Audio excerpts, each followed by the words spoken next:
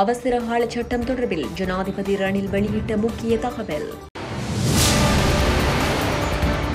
கல்வி அமைச்சு வெளியிட்ட முக்கிய அறிவிப்பு. இலங்கை அரசியலில் ஏற்படவுள்ள பாரிய மாற்றம்.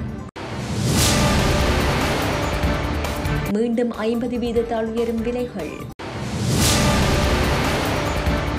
தொடரும் சீரற்ற காலநிலை பொதுமக்களுக்கு விடுக்கப்பட்டுள்ள விசேட அறிவிப்பு.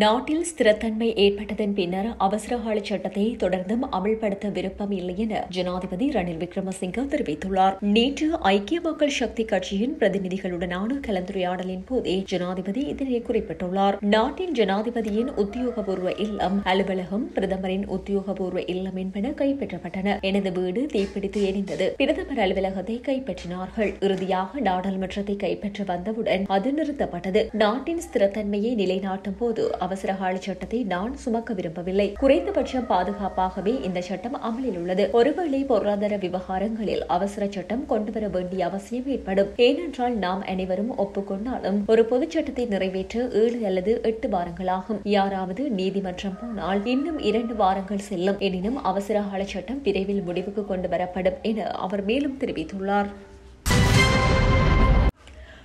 இலங்கையில் நாளைய தினம் திங்கட்கிழமை ஆரம்பமாகவுள்ள வாரத்தின் சகல அரசு மற்றும் அரசு அனுமதி பெற்ற தனியார் பாடசாலைகளில் மூன்று நாட்களுக்கு மாத்திரம் கற்பித்தல் செயற்பாடுகளை முன்னெடுக்க கல்வி அமைச்சு முடிவு செய்துள்ளது. இந்நிலையில் திங்கள் செவ்வாய் மற்றும் புதன்கிழமைகளில் மாத்திரம் பாடசாலைகள் இடம்பெறும் என கல்வி அமைச்சு அறிவித்துள்ளது. கடந்த வாரம் திங்கள் செவ்வாய் மற்றும் வியாழக்கிழமைகளில் பாடசாலை செயற்பாடுகள் முன்னெடுக்கப்பட்டன. எனினும் எதிர்வரும் வியாழக்கிழமை அரசு விடுமுறை தினமாகும் என்பதால் அடுத்த வாரம் புதன்கிழமை பாடசாலை செயற்பாடுகள் பாடங்களை முன்னெடுக்க கல்வி அமைச்சு தீர்மானித்துள்ளது. வெள்ளிக்கிழமை மாணவர்களுக்கு வீட்டு பாடங்களை வழங்குதல் அல்லது இணையவழியில் கற்பித்தல் பணிகளை முன்னெடுக்க முடியும் என்று கல்வி அமைச்சு அறிவித்துள்ளது. இதேவேளை வடமாகாணத்தில் நாளை முதல் ஐந்து நாட்களும் பாடசாலைகளை இயக்க தீர்மானிக்கப்பட்டுள்ளதாக மாகாண கல்வி அமைச்சு தெரிவித்துள்ளது. எவ்வாறாயினும் தூர பிரதேசங்களில் உள்ள ஆசிரியர்கள் வாரத்தில் மூன்று நாட்களுக்கு மாத்திரம் பாடசாலைக்கு செல்ல அனுமதி வழங்கப்படுவதாகவும் வடமாகாண கல்வி அமைச்சு குறிப்பிட்டுள்ளது.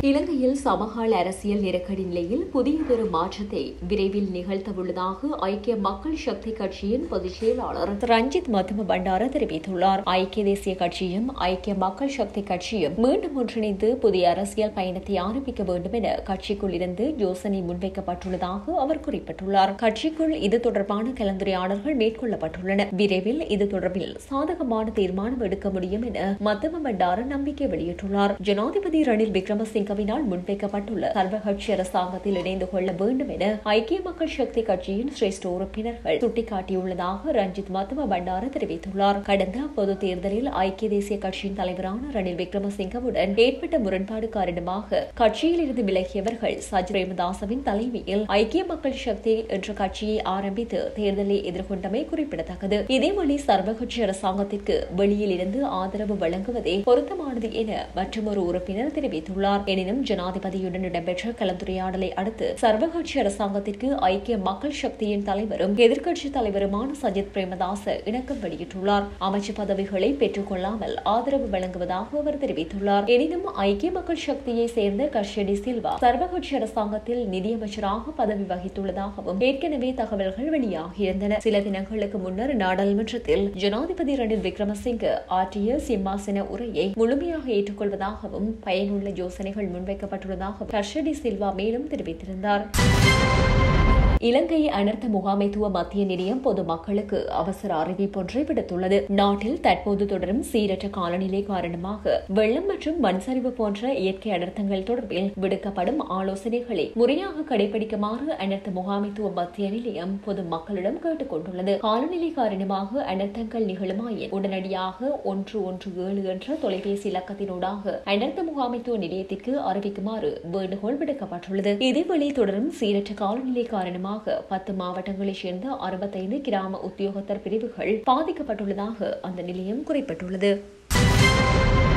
எதிர்வரும் வாரங்களில் நாட்டில் மரக்கறிகளின் விலைகள் பாரிய அளவில் அதிகரிக்கக்கூடும் என அறிவிக்கப்பட்டுள்ளது. நாற்பது தொடக்கம் ஐம்பது சதவீதம் இவ்வாறு மரக்கறிகளின் விலைகள் அதிகரிக்கக்கூடும் என அகில இலங்கை பொருளாதார மத்திய நிலைய குழுவின் தலைவர் தெரிவித்துள்ளார். நிலவும் மழையுடனான வானிலை காரணமாக விளைச்சல்கள் சேதமடைந்துள்ளமையால் மரக்கறிகளின் விலைகள் அதிகரிக்கக்கூடும் என குறிப்பிடப்பட்டுள்ளது. வெளிநாட்டு மரக்கறிகளின் விலைகள் அறுபது முதல் எழுபது சதவீதத்தால் அதிகரிக்கக்கூடும். ஒரு கிலோகிராம் கேரட் மொத்த விற்பனையின் கீழ் இருநூற்றி அறுபது ரூபாய் முதல் இருநூற்றி தொண்ணூறு ரூபாய் வரையில் விற்பனை செய்யப்படுகின்றது. கோவா ஒரு கிலோகிராம் இருநூற்றி முப்பது ரூபாய் முதல் இருநூற்றி அறுபது ரூபாய் வரையிலும் விற்பனை செய்யப்படுகின்றது. லீக்ஸ் நூற்றி முப்பது ரூபாவிலிருந்து நூற்றி எழுபது ரூபாய் வரையில் விற்பனை செய்யப்படுகின்றது. இந்நிலையில் மரக்கறிகளின் விலை நாற்பது முதல் ஐம்பது சதவீதத்தால் அதிகரிக்கக்கூடும் என அவர் குறிப்பிட்டுள்ளார்.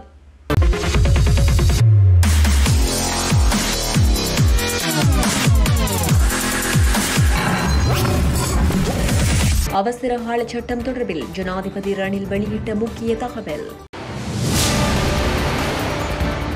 கல்வி அமைச்சு வெளியிட்ட முக்கிய அறிவிப்பு. இலங்கை அரசியலில் ஏற்படவுள்ள பாரிய மாற்றம். மீண்டும் ஐம்பது வீதத்தால் உயரும் விலைகள். தொடரும் சீரற்ற காலநிலை பொதுமக்களுக்கு விடுக்கப்பட்டுள்ள விசேட அறிவிப்பு.